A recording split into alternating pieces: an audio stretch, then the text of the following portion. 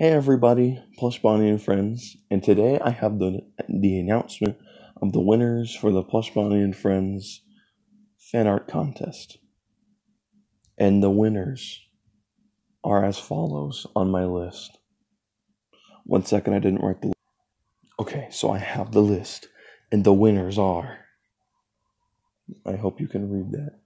I really hope you can. Damn it, you can't read. See that? Nobody.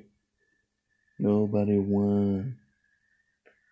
Nope, not a single one of you won this competition. You know why? Because I had to keep it fair.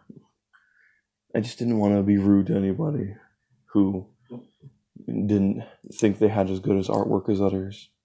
So I decided in the end, I just thought it'd be for fun rather than an actual competition.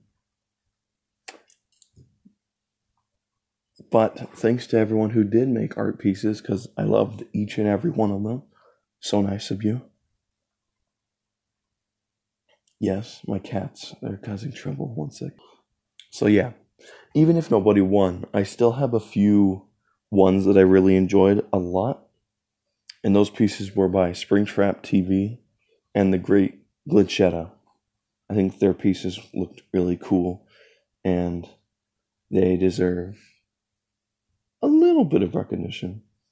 But I think anybody who made pieces of art, you did a good job. I really appreciate it. And uh, this is because I did this art contest because we got the channel one year anniversary coming up right around the corner. So we can celebrate. It's going to be on the, uh, I don't remember. You'll see a video on the day that it happens. So stay tuned for that, I guess. I I hope you guys have a great day. And uh, yeah, thanks for submitting art. All right, guys, have a.